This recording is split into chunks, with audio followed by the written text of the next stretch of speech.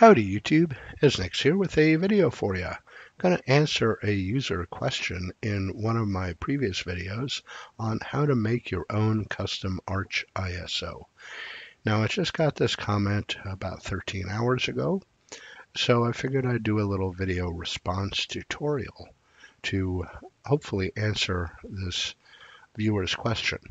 Now the question is, the first one on the list here, how can I install it on PC? I can't use file ISO I create to install. File ISO just run on VMbox. Okay, so he doesn't really say how he's trying to install it. I assume Calamares, since that's the GUI installer included. And it looks as though he downloaded one of my ISOs or my templates and use the template on the ISO or from SourceForge. Now the templates were built, the latest ones were built on the 15th of September. The ISO was built on the 3rd of September. So the changes in the templates between the 3rd and the 15th were just a rebuild of Calamares and the other three packages to take into account any changes in the packages uh, dependencies of Calamares that at that time were simply uh, Qt5 related files, uh, KDE Plasma related files. Uh, just in case any of those changes, those newer files, would impact Calamares running, I decided to respin the templates only, not the ISOs. So uh, just a brief explanation. If you're over at my SourceForge page, you have the ISOs, and they were built on, well, they were uploaded on the 5th, but they were built on the 3rd or 4th, I believe. So the templates included on the ISOs are now oh, about two and a half weeks old. The templates in the templates folder were built on the 15th. Uh, that's only three days ago. Now, either way, if you use the old template on the ISO or the newer template in the templates folder on SourceForge, you are going to experience a problem running Calamares on your ISO that you build today. And that's what this user, uh, Fan Hong Kwang, is experiencing. Um, I can read in, I know a, a bit about why this is happening. So we're going to go over how to get around that kind of problem until I update and upload new build templates, which should be in a day or two. I'm sort of waiting on Arch packages to finalize and a couple, one in particular update to come down. Now there were a couple of updates very recently in the last three days that affect Calamares running. If we go over to the Arch Linux website and do a package search, we can, and I'll, I know this because I've already tested it, but I'll show you. The Boost package was recently updated twice in the last three days. Uh, Boost is now at version 1.80.0-2 and Boost Libs, same version, 1.80.0.2. They were when my templates were built on the 15th and on the 3rd, Boost was at version 1.79.0 uh, dash 1 or dash 2. That change in the version of Boost and Boost libs is now preventing Calamares that is included that was built in the templates in my ISO from working. And we'll show you that in a running system here. Now I just built this ISO today. However, I included, let's go to the Ezarcher folder. I included the templates from the third, which were the ones on the ISO. So let's take a template here, copy it over to our home folder, extract it, and now we have the build template extracted. So in the opt folder is my local repository that's used to contain the hold the four packages that I include in installation in the ISO. Among those is Calamares. And if we look at the properties, we can see, well, the modified date uh, is today. Uh, the modified date was Thursday, uh, access date today.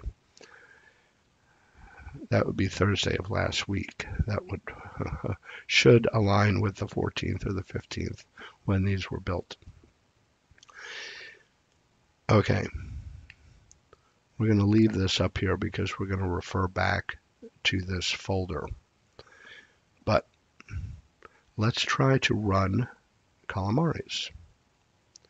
So if we go to install system, give it our password, we can see nothing is happening. Let's try that again. Got to type the right password. Nope. Still nothing. Okay, let's open up a terminal. Make it a little bigger. Run Calamares with the D switch, which is to output debug information. A lot more useful in determining why a program isn't running. Uh, interesting. Invalid. Hmm. Oh. Sudo.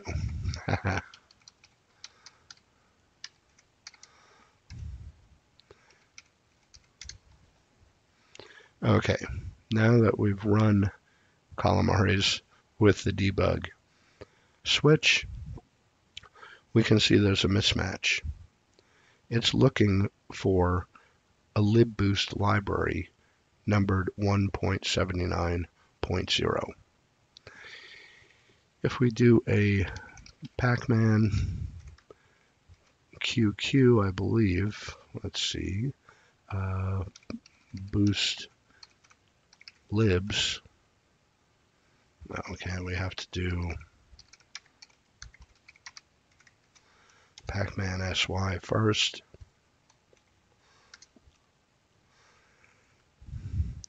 Okay, that's not enough information. Let's do a QS. Okay, we can see the installed version of Boost Libs is 1.80.0.2. So Calamares is looking for that version. The newest version of lib boost libs is this version. That is the reason Calamares isn't starting. Okay, hopefully that was clear. Now the way to fix that is to rebuild Calamares. So, how do we do that? Back in the home directory, Ezarcher, I include a folder called PKGBUILDs. So we have Calamares, ckbcomp, OpenSWAP, and Trizen, and a text file. Let's open up the Calamares folder. And here is our PKGBUILD file, the dependencies for Calamares, and the settings I include.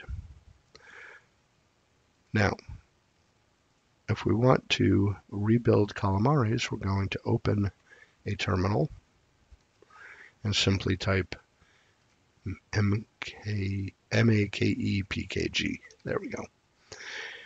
Now, let's go ahead. We'll, we'll build it. It'll take a little while, actually. You do not have write permission. Oh, because it's in... Okay. Let's do it this way. Let's close down that. Let's take this folder, copy that to our home directory.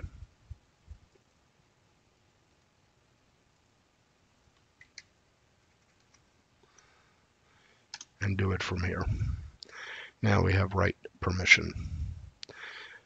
So it's going to go ahead and build Calamares. Now, as I said, this will take anywhere from five to 10 minutes, depending on, I don't know, depending on the speed it takes. So let's minimize that. And we can minimize this as well. Cool. Once we have Calamares rebuilt against the current, the newest libraries, especially the Boost lib libraries, we will have a working Calamares package. And we're going to have to then put that into our build, instead replacing the Calamares package that came with the template. And I'll show you how to do that as well. Actually, while it's building, let's go ahead and look at that. So in the text file, let's open this up. And let's turn line wrapping on. It basically tells you how to go about recompiling Calamares. It also tells you how to rebuild the ezrepo. So all steps you are going to need to use to fix Calamares with the newest version, the newest compiled version, and included in your built. Uh, so you get a working Calamares at the end of this.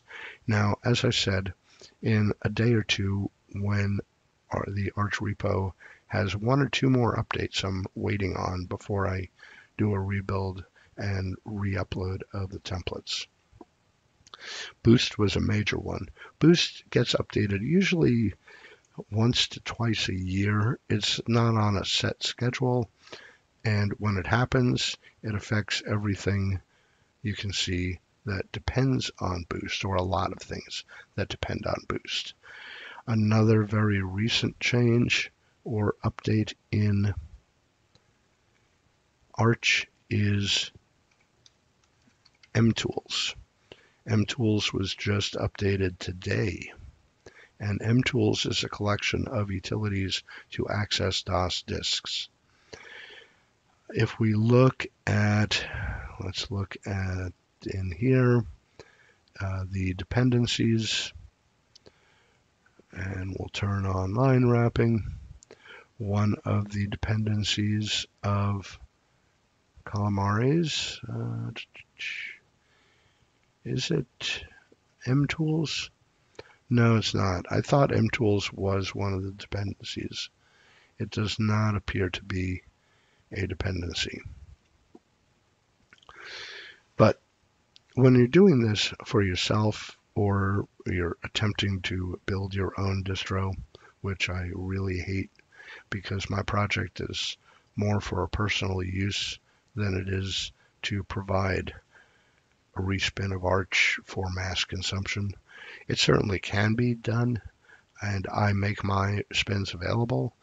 So it's not as though you can't do it, but uh, you really need to know how to troubleshoot this type of problem if you're going to do that. If you're doing this just for yourself, you know what? You have this problem. I'll put up a video, hopefully answering your questions, and you can continue on your way.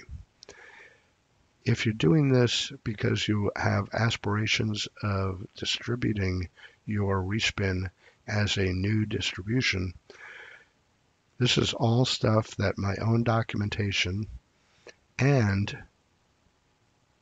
if you do a search on my YouTube channel, updating Calamares, simple terms, I have three videos that cover how to include Calamares, how to update Calamares, and what happens when Calamares changes and you have to adjust to those changes.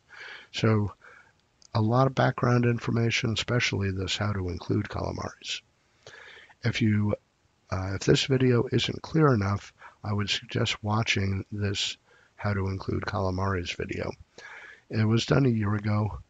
Besides the version numbers, it's still pretty accurate in terms of what you need to know. So, uh, Fan Hong Kwang, if uh, hopefully this helps answer some of your questions. Okay, let's close that. Uh, let's go back to terminal and the PKG build. We're only at 45% here. Yeah, I don't think we need this terminal open any longer. So let's go ahead and just exit that. And you know what? We will come back when this finishes and I'll show you how to put it into your build process, uh, replacing the older package of Calamares that is built against an older version of Boost Libs. So bear with me, I'll be right back. Okay, so Calamares just finished building. So we have our tar ZST package file here. Now, how we get this into our build is like this. We can close this uh, window here. We don't need that anymore. Let's open up another file manager window. Go over to our build folder. Inside the op directory, here is our ezrepo. Now we're going to have to replace this file with that one, but it's not that simple. Let's go ahead and delete this file. And we're going to have to rebuild the repo database files with this new file once it's included. So we're going to get rid of anything that says ezrepo. Okay. Now we're ready. So let's copy this over here.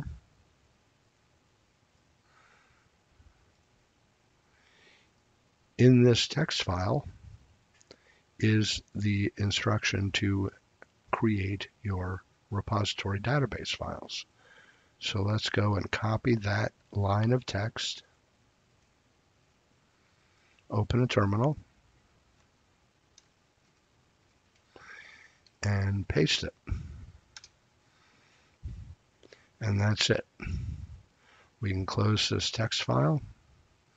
We can close that, and now we have our repo files rebuilt with the new Calamares package. Now, when we go run our steps sh file, it will include the new repo, the new Calamares, and you should have a working Calamares in your uh, system, in your ISO. Now, hopefully that was clear enough. Uh, I'm not sure how to make it much clearer other than you trying to do it. And if you encounter a specific problem, ask again. And that was right here. So let's go ahead and we'll answer this as soon as I post this video and link it in the answer. So Fan Hong Kwang, you will have your answer very shortly. Hope it wasn't too long of a wait, but this was about the soonest I could get to it. So hope it helps. Take care, stay safe. See you in another one, folks. Bye-bye.